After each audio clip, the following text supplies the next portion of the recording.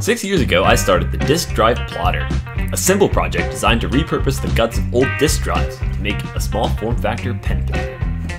These old disk drives contain tiny stepper motors which can be controlled precisely from low cost and easily accessible electronics. After assembling this flimsy and slightly crooked frame, the project sat dead in my closet for six years. After a quick test to make sure the electronics still work, I think it's time to revive it. Follow along if you want to see how it turns out.